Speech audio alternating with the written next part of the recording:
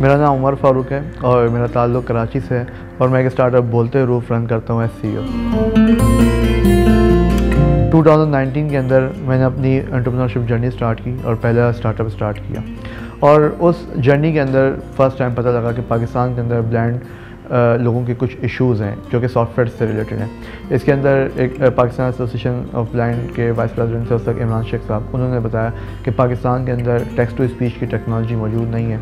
और जो हमारी लोकल रीजनल लैंग्वेजेस हैं, उनकी बुक्स बनाने के लिए इंटरनेशनल सॉफ्टवेयर वर्कआउट नहीं करते। तो वहाँ से मैंने उस वक्त जो है ना ये इरादा किया कि हम लोग पाकिस्तान के अंदर जो बुक्स बनाने के सॉफ्टवेयर हैं, उसको बनाना स्टार्ट करेंगे।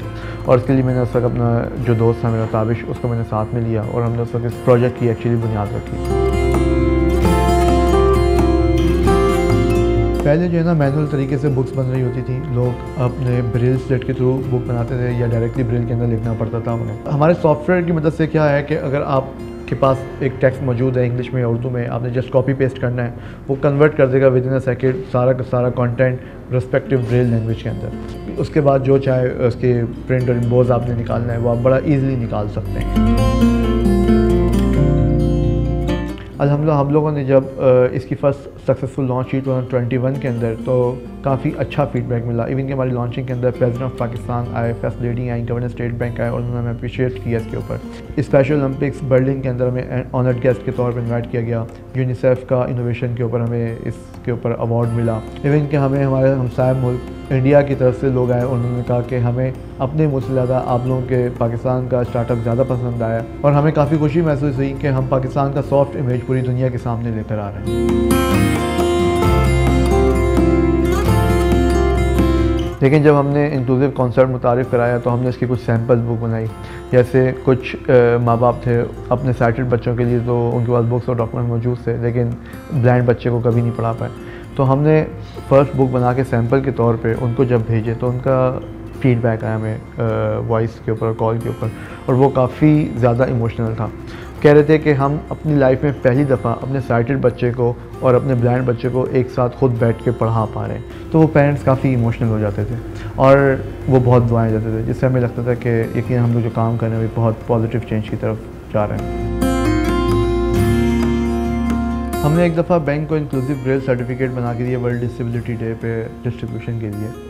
उस बैंक ने अपने ब्लाइंड एम्प्लॉज़ को वो अप्रिसिएशन के तौर पे डिस्ट्रीब्यूट किए तो उनका फीडबैक आया कि हमें ज़िंदगी में पहली दफ़ा ऐसे सर्टिफिकेट मिले हैं कि जो हम खुद पढ़ सकते हैं। तो जिसने ना सिर्फ़ उनको खुद इमोशनल किया, बल्कि बैंक के लोग भी वो इमोशनल हो गए।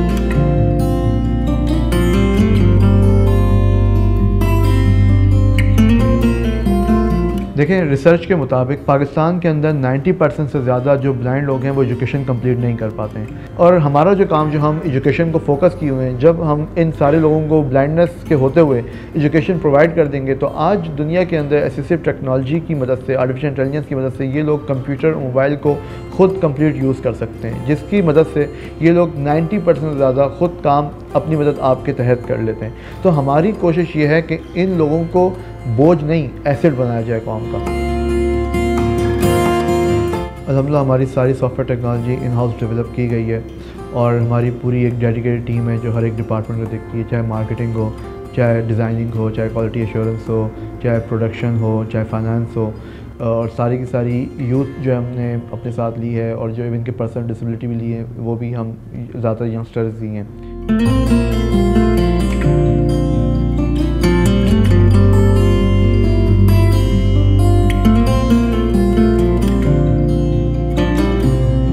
इनिशियली हम लोगों को थोड़ा सा इतना अच्छा रिस्पांस नहीं मिला सॉफ्टवेयर के ऊपर, लेकिन हम लोग ग्रेजुअली जो हमने इसके अंदर और इम्प्रूवमेंट और न्यू फीचर्स डेवलप किए और जो हमने अपना काम जो है ना मार्केट में हम लोग खुद लेकर आए और दिखाया तो हम लोग उसके ऊपर हमें काफ़ी अच्छा रिस्पॉन्स मिला सॉफ्टवेयर के ऊपर।